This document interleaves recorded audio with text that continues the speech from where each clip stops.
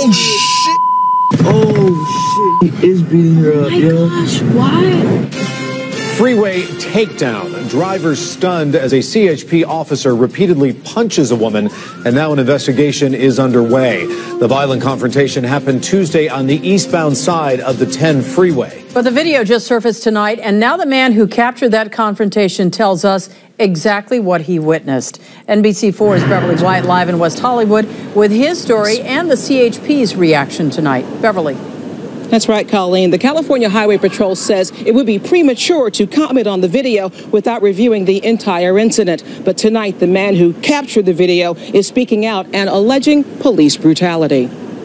It's the encounter on Interstate 10 near La Brea that a carload of witnesses won't soon forget. A woman walking, then confronted by a CHP officer who, for an unknown reason, takes her to the ground and pummels her with his fists. We counted at least 11 times. But she took a left, and the cop, the uh, CHP, ran after her, grabbed her to try to subdue her, and then she, you know, just like anyone regular, you know, kind of shove it off, kind of, you know, getting away. Was she intoxicated? Was she mentally ill?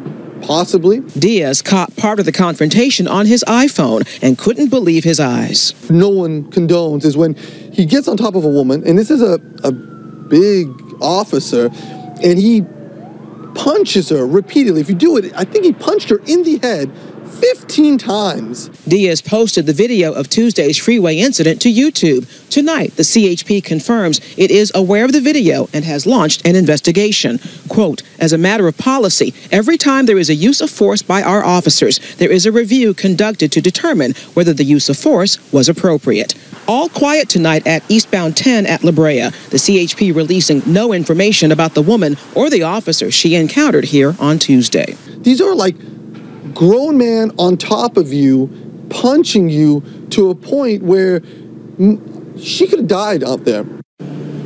And tonight we talked off camera with another witness. She characterized the woman as shoeless and terrified, and she says she did not pose a threat. She describes a second man seen in the video who was possibly an off duty police officer who helped the CHP officer place the woman in handcuffs. Reporting live in West Hollywood, I'm Beverly White, NBC. Back to you.